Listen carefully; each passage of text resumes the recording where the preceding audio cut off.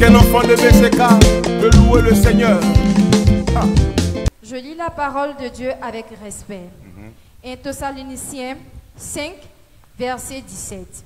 Priez sans cesse. Parole de Dieu. Dis ça à ton frère. Dis prie sans cesse. Ça veut dire quoi? Prie sans t'arrêter. Dis à quelqu'un, prie sans t'arrêter. Prie tous les jours. Prie. Prie et prie. Matthieu 13, verset 25. Mais pendant que les gens dormaient, Mais pendant que les gens dormaient, son ennemi vint, son ennemi vint, sema de livrer parmi le sema de livrer la mauvaise graine, le problème, la maladie, la situation compliquée, les dettes. Mhm. et s'en alla. Et s'en alla. Parole Pendant qu'il a Pendant qu'il a Est-ce que s'il était réveillé, on pouvait faire ça? Mais parce qu'il dormait, celui qui voulait faire a fait. Il y a quelqu'un, je ne dormirai plus. Acte 28, Le dernier passage, oui. verset 3. Paul, Paul, ayant ramassé un tas de broussailles. Ayant ramassé un tas de broussailles. Et l'ayant mis au feu, et l'ayant mis au feu, une vipère en sortit. Une vipère en sortit par l'effet de la chaleur à cause de l'effet de la chaleur du feu et s'attacha à sa main. et s'attacha à sa main. Acclame la parole de Dieu et assieds-toi comme un homme et une femme de prière. Ce soir, je voudrais bénir le Seigneur et dire à Dieu que nous sommes reconnaissants pour la vie qu'il nous a donnée. Et ce soir, je voudrais te parler de la puissance de la prière. Dis avec moi la puissance de la prière. Encore. Encore. La prière est la source de la chrétienté. Un homme de Dieu, un chrétien, une personne qui prie, est une flamme dans le monde spirituel. La prière est l'éventail du chrétien qui lui permet d'activer son feu. Lorsque tu as comme l'impression que le feu diminue et qu'il veut s'éteindre, il suffit simplement que le vent se connecte à ce feu et le feu grandit. La prière est en fait le vent de l'esprit qui donne de la grandeur au feu, qui permet au feu du Saint-Esprit dans ta vie de continuer à éclairer, de continuer à brûler. Aujourd'hui, le premier verset que nous avons lu dit priez sans cesse. Parce que la plupart des chrétiens aujourd'hui ne prient réellement pas. Et nous disons, nous sommes une armée qui- mais qui n'a pas de victoire. Tu vas fouiller même dans la vie des serviteurs de Dieu. Il y a un problème d'accomplissement. Il prêche l'évangile, elle prêche l'évangile, mais il y a des problèmes dans sa vie. Il ne voit pas le résultat de ce que lui-même il prêche. Pourquoi? Parce que Dieu n'est pas dans les mots, Dieu est dans l'action. Tu prêches des choses, mais est-ce que tu vis la chose? Tu dis aux gens, je prie, mais est-ce que tu pries réellement? La dimension de tes victoires sont rattachées à tes heures de prière. Nous sommes une église qui, lorsque nous quittons notre maison, disons aux gens que nous laissons, nous allons à la prière. Mais quand nous arrivons, est-ce que nous prions réellement? Est-ce que ce n'est pas simplement de tu seras béni, tu seras prospère, tu vas aller évoluer, tu vas te marier, tu vas. Est-ce que tu pries? Parce que si tu ne pries pas, le monde spirituel ne te reconnaît pas. La prière change les choses dans ta vie. Beaucoup d'enfants de Dieu aiment ce que j'appelle des messages d'espoir. Et moi-même, je suis pour cela. Mais écoute-moi, aussi longtemps qu'on te souhaite des choses, mais que tu ne prends pas tes responsabilités dans la prière, tout ce qu'on t'a dit ne pourra pas s'accomplir. Beaucoup de souhaits, beaucoup de Dieu m'a dit, mais pourquoi on ne voit pas? Parce qu'il y a manque de prière. Peux-tu cuire un repas sous un fourneau qui n'a pas de feu? C'est la sorcellerie. C'est la sorcellerie. Pour que ton riz puisse cuire, il te faut du feu. Et lorsque tu viens à la prière, remarque, c'est là que tu dors. Parce que tes arrière-grands-pères, tes arrière-parents, ils ne veulent pas te voir réussir, souffre un vent d'assouplissement. Lorsque tu es devant des vidéos, lorsque tu es devant Facebook, tu ne dors pas. Tu es affairé jusqu'à 4 heures du matin. Mais lorsqu'il s'agit de 30 minutes de prière, tu somnoles. Parce que quelqu'un, quelque part, appelé Satan, c'est que si je laisse cette femme, cet homme prier, sa vie va changer. Des gens payent le transport, arriver à l'église pour dormir. L'église est devenue une chambre d'hôtel. On paye le transport de Yopougon à ici, du plateau à ici, de Dabou à ici, de Bassam à ici. Et quand on arrive maintenant, on dort sur la chaise et puis on repart. En fait, tu as payé le transport pour venir dormir. Écoute-moi très bien. Aujourd'hui, tu dois comprendre que le diable a horreur des personnes qui prient. Lorsque tu pries, ta situation change dans le monde spirituel. On peut te voir petit, on peut te voir chômeur, on peut te voir comme quelqu'un de rabaissable, mais dans le monde spirituel, tu es un feu dévorant. Je dis à quelqu'un ce soir, dans la prière, Dieu te fera grandir. Dans la prière, Dieu t'élèvera. Dans la prière, Dieu te fera grandir. Il te faut la prière. Pose la question à ton voisin. Quand est-ce que tu pries? Encore. Encore. Encore. La Bible dit, c'est parce que cet homme-là, en Matthieu, dormait, que quelqu'un est venu s'aimer livrer. Vous savez, j'ai compris avec le nombre d'années que le plus important, ce n'est pas le nombre de tes ennemis, mais c'est la sécurité que tu places dans ta vie. Est-ce que vous savez que dehors ici, il y a beaucoup de braqueurs? Est-ce que vous savez que dans chaque quartier, il y a beaucoup de voleurs? Mais la maison de plusieurs n'est pas cambriolée. Tu sais pourquoi? Parce qu'il y a une sécurité forte. Là où la sécurité a faibli, le voleur est entré.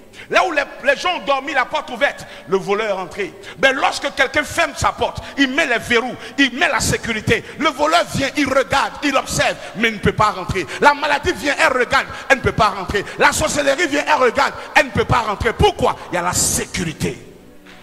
La prière, c'est la sécurité. Tu ne peux pas te permettre de commencer ta journée sans prier. Pourtant, tu ne sais pas qui tu vas croiser dehors. Il n'y a que toi qui penses que les hommes sont naturels. Tout homme est spirituel. Soit du bon côté, soit du mauvais côté.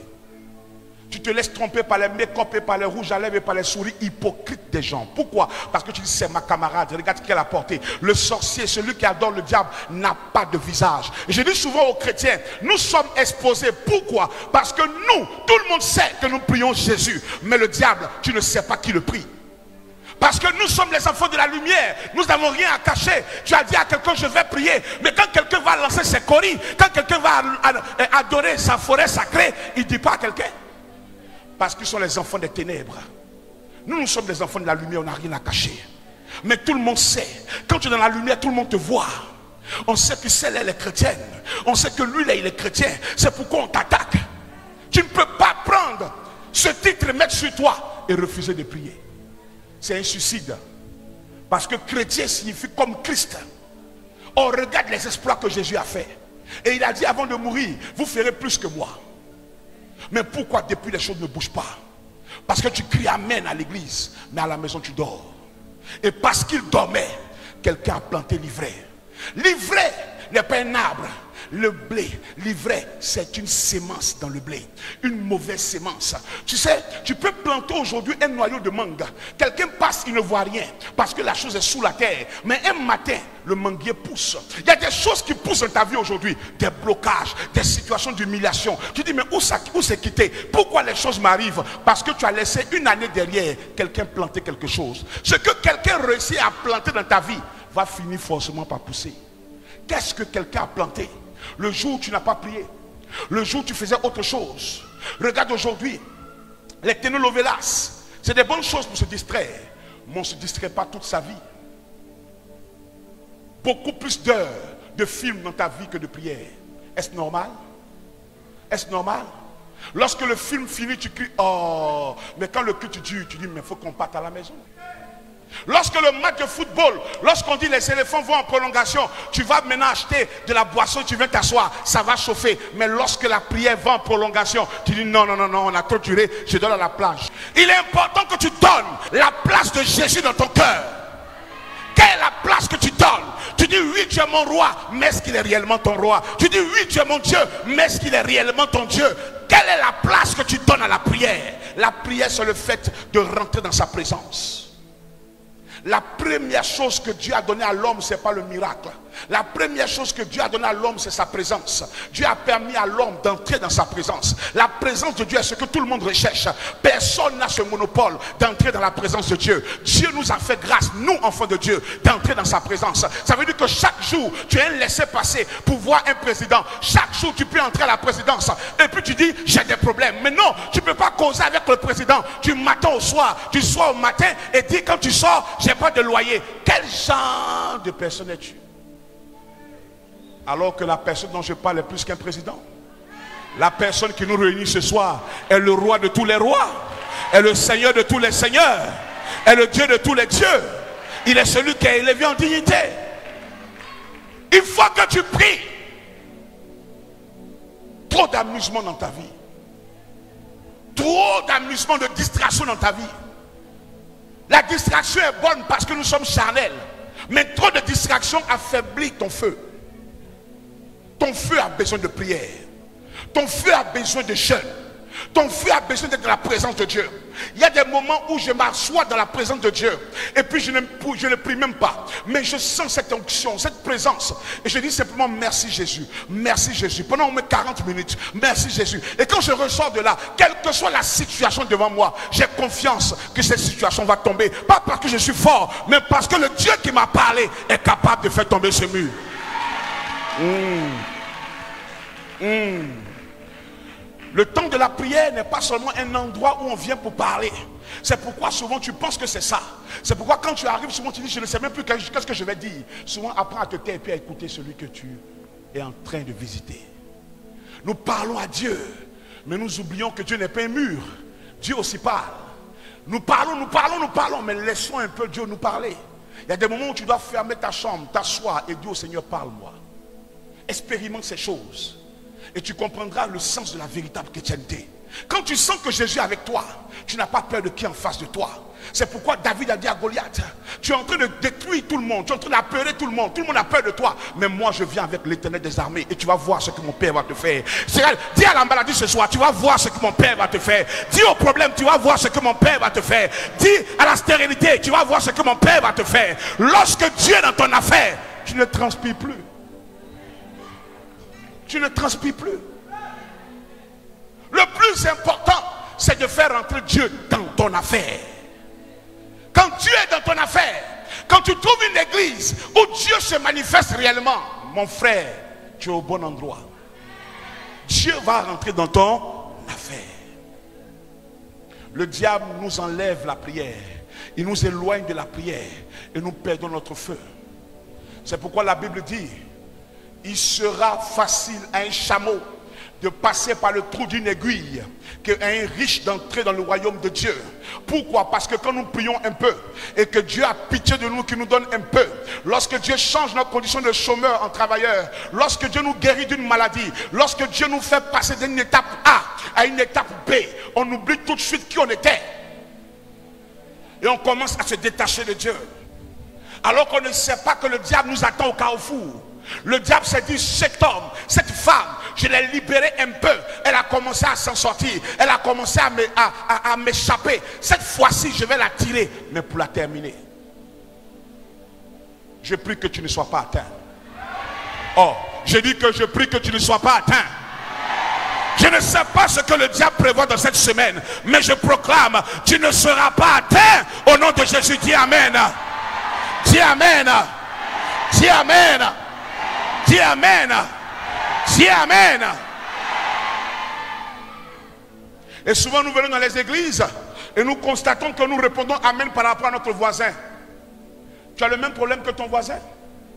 Tu as les mêmes réalités que ton voisin. Ton voisin compte peut-être sur ses parents bien placés. Mais toi tu comptes comme moi sur l'éternel. C'est lui seul qui est notre rempart, c'est lui seul qui est notre répertoire, c'est lui seul qui est notre connaissance. Lorsque nous parlons là, c'est celui que nous comptons. Et lorsqu'il est là et qu'on doit le célébrer par notre Amen, tu cries Amen comme un choco. Écoute-moi, les chocos sont ceux qui n'ont pas de problème.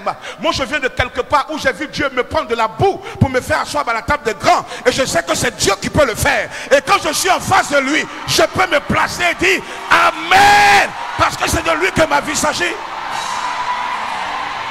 Je n'ai pas honte de glorifier Dieu. Je n'ai pas honte qu'on me dise tu bouges trop. La Bible dit David, il jette sa couronne, il jette ses habits et il commence à danser parce qu'on parle de l'éternel. Aujourd'hui, nous avons affaire à une église qui est plus sérieuse que Dieu lui-même. Une église où tout le monde veut faire semblant comme si tout, tout le monde est plus grand que Dieu. Il dit il est plus facile à un chameau. C'est qui le chameau? Un animal de grande taille. Tu es plus grand qu'un chameau? Un animal de grosse forme. Tu es plus gros qu'un chameau? Mais le chameau a une force qui peut lui permettre au dernier jour d'entrer là où le riche ne peut pas entrer. Parce que le chameau, quelle que soit sa taille, sa forme, il se repose sur ses genoux. La prière. Lorsque tu as le caractère du chameau, quelle que soit la taille que Dieu te donne, la forme que Dieu change, tu restes connecté à tes genoux. La prière n'est pas négociable. Lorsque Dieu élève quelqu'un, même si tu veux ta tête touche le ciel, tu ne peux pas oublier qui t'a mis là où tu es. Tu ne peux pas oublier que tes parents sont sorciers. Tu ne peux pas oublier que les gens veulent à ta vie. Et que si tu respires encore, c'est parce que quelqu'un dans le ciel a dit non à la sorcellerie, a dit non à la maladie, a dit non au problème, a dit non. Comment peux-tu oublier ces choses? Comment? Comment? Réveille-toi. Réveille-toi. Le chameau est le seul qui aime le désert, qui prend le désert comme étant un lieu de balade. Le cheval est rapide, le cheval est puissant, mais il meurt dans le désert. Vous savez, l'église, ce n'est pas une question de rapidité. Non, c'est une question d'endurance. Le chameau n'est pas rapide comme le cheval, mais il est endurant. Tu peux me dévancer, mais est-ce que tu vas arriver? Chrétien, ta prière souvent s'arrête parce que tu vois les autres réussir. Ta prière souvent s'arrête parce que tu te dis, mais moi aussi je prie depuis, je ne vois rien. À qui tu te compares? Un chameau ne se compare pas à un cheval. Le cheval est rapide, mais le chameau est endurant. Tu vas vite, mais est-ce que tu peux arriver? Comme les gens chantent. On dit, tu chantes bien, mais que tu chantes fort. Le plus important, c'est d'arriver. Le plus important, c'est d'aboutir. On ne donne pas une coupe à quelqu'un parce qu'il courait bien on donne une coupe à quelqu'un parce qu'il est arrivé. Souvent, beaucoup ont commencé, mais combien qui sont arrivés? Beaucoup d'appelés, mais peu d'élus. Ne joue pas de ta vie. Nous sommes dans un temps précieux. Novembre, décembre, c'est la guerre spirituelle. Comment tu peux dormir sans prier? Comment, comment? Qui est sorcier entre toi et ceux qui t'en veulent? Tu n'as personne. Ou bien tu penses que c'est ton gardien? Laisse-moi te, parler. J'ai vu des gardiens ouvrir la porte aux voleurs. Ton gardien n'est pas ta sécurité. Tu penses que c'est ton chien? J'ai vu des gens aller voler chez des personnes ont des chiens, des gros chiens, des chiens de race. Mais je n'ai pas encore vu quelqu'un sauter la clôture de quelqu'un qui a un lion. Toi, ce n'est pas un chien qui te protège. C'est le lion de la tribu de Juda. C'est le lion de la tribu de Juda. C'est lui qui te protège. C'est lui qui protège ta vie. Est-ce que tu peux me donner Amen? My God. My God. Ceux qui font la sécurité te diront que le chien qui aboie, il fait ce qu'on appelle une dissuasion. C'est bien. Mais le chien le plus dangereux n'est pas celui qui aboie. Le chien le plus dangereux en sécurité est le chien qui agit comme un homme. Il te piège. Ça veut dire qu'il te laisse rentrer. Il veut même pas que... Non. Il veut que tu partes avec un témoignage. Parce que s'il aboie, tu ne vas pas rentrer. Lui n'aboie pas. Il te laisse rentrer. Il t'attire. Tu rentres et puis il tourne. La porte où tu veux sortir, là, c'est la ses mains. C'est maintenant le volet explique que sa grand-mère s'appelle quoi pour quand Mais c'est terminé. Le chien va te manger. Mais je dis, si un chien est capable de faire ça, et le lion de la tribu de Judas. C'est pourquoi la Bible dit, ils viendront vers toi par un seul chemin, mais ils s'en iront par ils sont entrés, pourquoi? Parce qu'ils ont vu ta maison, il n'y a aucun chien. Ils ont vu ta maison, il n'y a aucune sécurité. Mais ils ne savent pas que ta, ta sécurité est spirituelle. On ne la voit pas. Mais quand tu rentres, tu vas sentir la sécurité. Ma sécurité est Jésus. Ma sécurité, c'est la prière. Ma sécurité, c'est le roi de gloire. Il est ma sécurité. Il est notre sécurité. C'est pourquoi tu dois prier. À quoi sert d'avoir une, une clé si tu ne la fermes pas? Dis ma sécurité, c'est Jésus. Plus fort. Alléluia. Et je parlais du chameau. Le chameau, sa force pour dompter le désert, vous savez c'est quoi? C'est que le chameau, contrairement au cheval, ne mange pas beaucoup, mais il boit plus. Celui qui mange beaucoup devient lourd dans le désert. Mais celui qui boit beaucoup est léger dans le désert. Et le chameau aime boire l'eau. Or, l'eau, c'est le symbole de la parole de Dieu. Et lorsque vous êtes un chameau, vous ne mettez pas toute chose devant, vous mettez d'abord la parole. Lorsqu'on prêche la parole, tu sens que ton âme est arrosée. Lorsqu'on prêche la parole, tu sens que ton âme est vivifiée. C'est la parole qu'il te faut. Ton pasteur ne peut pas voyager avec toi, mais tu peux voyager avec la parole de Dieu. Tu peux voyager avec la parole de Dieu. Dis, j'ai la parole en moi. Et je dois prier. Quelle est la force de notre Seigneur Jésus? C'est la prière, mes enfants. Chaque jour, Jésus est le Messie. Jésus a créé le ciel et la terre. Jésus est le maître de l'univers. Mais chaque nuit, lis ta Bible, Jésus se mettait à l'écart pour prier. Parce qu'il sait que c'est un combat. Tu vois le matin, Jésus fait des miracles. Ça dépend de comment il a prié la nuit. Tu vois les gens travailler, ça dépend de comment ils prient. Toi, tu ne pries pas, mais tu veux travailler. Toi, tu ne pries pas, mais tu veux te marier. Parce que tu es belle, ce n'est pas la beauté qu'on marie, c'est la grâce. Sinon, si c'est la beauté qui allait à la mairie, les dames de compagnie allaient s'asseoir dans le fauteuil de la mariée. Parce que souvent, tu vois la dame de compagnie, tu vois la mariée, tu te demandes, est-ce qu'on n'a pas inversé les choses? Ce n'est pas la beauté, c'est la grâce de Dieu. Et Dieu met sa grâce sur toi parce que tu aimes la prière. La Bible dit, tous ceux qui prient, leur visage change. Parce que Anne est sortie de la prière. Son visage a changé. Son mari l'a connue et elle a enfanté. Ton visage va changer. Quand tu vas au travail, tu vas chercher le boulot. Ton visage est le même. C'est pourquoi tu n'as pas de boulot. Mais quand tu vas prier, Dieu va changer ton visage. Il aura une onction, une grâce sur ton visage. Pour la promotion, ton patron qui ne t'aimait pas va commencer à t'aimer après mon message. Parce qu'une grâce est sur ton visage. Une grâce est sur ton visage. Une grâce est sur ton visage. À cause de la prière. Je prêche et tu bailles. Je prêche et tu as envie de dormir pour certains. Parce que le diable sait que ça, c'est la nourriture de l'esprit. Tout de suite, si on avait dit à affairage, un camion qui transportait un million est tombé dehors, tu peux dormir? Pourquoi tu es mauvais comme ça? Contre toi-même. Celui qui dort quelque part, ce n'est pas parce qu'il a sommeil, c'est parce que la chose ne l'intéresse pas. Avant, nos parents même, tu sais qu'avant, comme les gens faisaient, à cause d'un film qu'ils veulent regarder ciné nuit, avant, on dit ciné nuit, il prend l'eau, il met à côté de lui. Quand il veut dormir, il lave son visage. Il veut voir le film. Qui se rappelle de ça? Donc celui qui dort, c'est parce qu'il veut dormir. Sinon les gens là, souvent si les nuits même arrivent, lui est nuit, on ne sait pas qui regarde qui. Mais il veut voir. Donc celui qui veut, il peut. Quand tu dors à l'église, c'est parce que tu veux. Sinon, quand la parole de Dieu est là, elle veut te faire du bien. Dis Amen. Dis Amen. Dis Amen.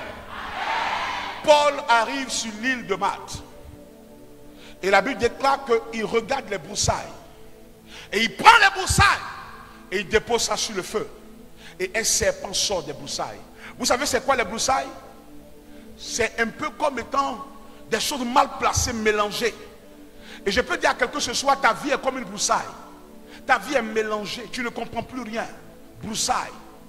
Et souvent, dans les broussailles se cache un ennemi, mais on ne sait pas. On voit la broussaille, on voit le mélangement, on voit les problèmes dans ta vie, mais sous ces problèmes se cache un serpent, un ennemi.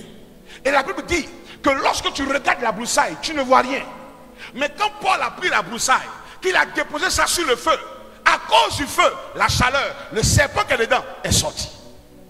C'est quoi le feu? La prière. Aussi longtemps que tu ne prends pas ta vie pour la placer dans le feu de la prière, tu ne sauras jamais qu'en bas de ce que tu vis là, il y a un serpent. C'est à cause de la prière que le serpent sort. Parce que tout serpent ne peut pas résister au feu. Pour chasser les serpents dans les endroits là, on met le feu. Le serpent commence à courir. Lorsqu'il y a le feu de la prière, le serpent qui a trompé Adam et Ève ne pourra pas rester à côté de toi. Il te faut le feu. Me faut le feu. Il me faut le feu. Et la Bible dit, lorsque ce feu est arrivé, la vipère s'est attachée à sa main. Et les gens ont regardé Paul. Ils ont dit, assurément qu'il va mourir. Parce qu'ils ont dit, il a été mordu. La mort sûre. Ça veut dire que la mort de Paul est sûre. Mort sûre. Donc comme le serpent l'a mordu, Paul va mourir. Mais il ne savait pas que c'était une vipère qu'il avait mordu. Et comme Paul était un homme de prière, la vie de son père était dans ses gènes. Écoute-moi très bien ce soir. Je veux dire à quelqu'un, l'arme qu'ils prennent pour venir vers toi va conjuguer ta bénédiction. Ils ont envoyé une vipère contre Paul, mais ils ne savaient pas que Paul aussi avait la vie de son père en lui. Quelle que soit la vipère qui vient contre toi, quelque part le serpent qui vient contre toi, la vie de ton père est en toi. La vie de Jésus est en toi. Si tu vis, ce n'est plus toi qui vis, mais c'est Jésus qui vit en toi. Oh, dis-moi Amen. Dis-moi Amen. Le manque de prière peut permettre aux gens de t'attaquer. Le manque de prière peut permettre aux gens de t'attaquer. Souvent, tu n'arrives pas à t'en sortir. Parce que souvent, tu ne pries pas. Et quand tu ne pries pas, la sorcellerie peut t'attaquer. La sorcellerie peut venir t'attaquer. Et quand la sorcellerie t'attaque, c'est semblable par exemple à ce frère qui vient est-ce que tu peux l'empêcher de venir? Non.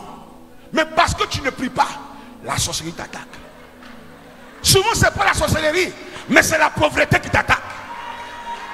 La pauvreté court, elle arrive pour t'attaquer. Parce qu'effectivement, il y a un problème contre toi.